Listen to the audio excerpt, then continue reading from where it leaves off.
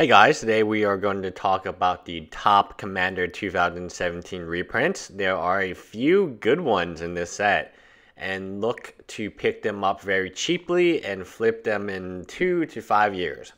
So we will start with Raksha Golden Cub. This card was around $3 and now it is going to be reprinted in a cat deck with a, another very expensive card in it. Another very expensive. It's take a guess what it is. I did not expect to see it here because it was just recently reprinted as a mythic. But Raksha and the other cats are very good. For the cat deck, they pretty much printed every cat of notable value a minus Brimaz. So Brimaz has the potential to go up in price should he see play and also not be reprinted in the future. But the card that has been the card this card is fantastic as a reprint, Mirari's Wake. This is a very pricey card. It is $13 right now, pre-order. And before it was reprinted, it was around 15 to 17 and rising it's quite surprising to see it in a set so recent or see it in a to get reprinted so recently from the past reprint but that is what wizard of coast is doing. They are making sure that you get as the player get value in the decks. And there are lots of val- there's every deck is worth it in my opinion. Some decks are going to be more worth it. This one in particular where you have a $13 card, which is very popular in EDH, yes, the cat deck is definitely worth it. Remember, you have other 90, you have 99 more cards on top of that. Next, we have Marchesa, the Black Rose. Surprising reprint. Again, this came from Commander Take the Crown, which was recent. Uh, it wasn't an unrecent set but she's getting another reprint in the Wizard deck. She is perfect for them. She is Grixis. I'm not sure if it's going to be a foil. I'm assuming it's not foil. And the commanders that are in foil are the newer commanders, which would make a lot more sense. Marchesa is very, very good as a commander, and I actually do have a deck of her. I'm building the deck. I'm still missing a few pieces, but it should be very good it is interesting to note, like Mirari's Wake, Marcella, these are very recent reprints that have been thrown into your commander deck. So nothing is safe. Very little safe. Talking about cards that have gone up a little bit in price, we have Havengul Licks, Lick, Lich, and it is $5.36 right now, but it should take a huge plummet it is also in the Wizards deck. So these are cards that we're going to talk about right now are reprints. The large majority of the value of the deck is actually in the new cards. The reprints are just bonus. These cards should go down a lot in price. Um, something like Havengul Lich will just plummet into oblivion. Let's say it's five now. I could see it at two dollars or less within 90 days from release of Commander 2017. Commander 2017, there's just so many copies of it because it is unlike Eternal Masters or Modern Masters. You can buy it at any Walmart, you can buy it at any Walgreens, you can buy it at any Barnes and Noble, buy any Target, Toys R Us.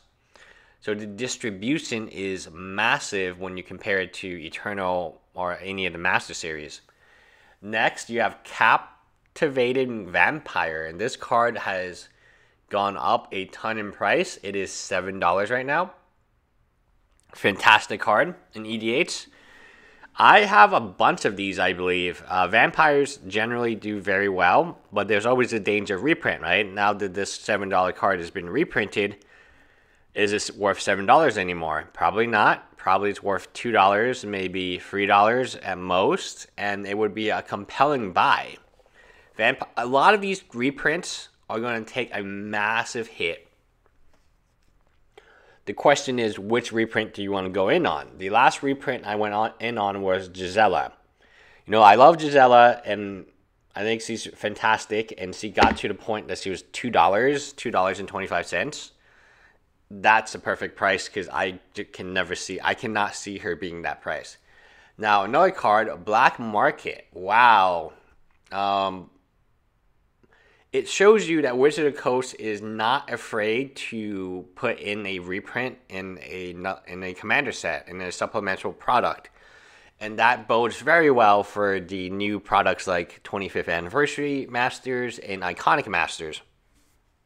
Just because it was in Modern Masters or Eternal Masters does not mean it is precluded from from any future masters. Like iconic masters, we could have more Tarmogoyfs, we could have Force of Wills, we could have Lilianas, we could have Snapcaster Mages.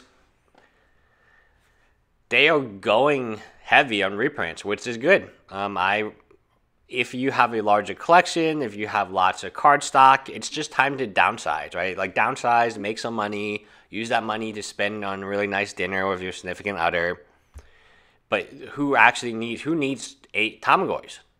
But I had eight Tarmogoyfs. I don't need eight Tarmogoyfs. I'm downsized to four now. This is my favorite speculation. Should it, and I believe it will, go down to two or even dollar fifty, I think it's going to get there. Scion of the Ur-Dragon. This card used to be 10 bucks. And it's good enough, in my opinion, to be $10. Now, it's going to be reprinted, and it'll be in every single Dragon Edict commander deck for now until whenever, because now it's five color support, right? However, and big however in this one, it's just one of those cards that if you're a new player or you're a casual player, you look at it, it's five colors, it gets you more dragons. It becomes a copy of any dragon you want, so it's a tutoring, a pseudo tutor ability, at least until end of turn fantastic. A uncommon reprint is Lightning Greaves. This card has got up to four dollars, and it is in multiple of these decks. I think it's in two of them.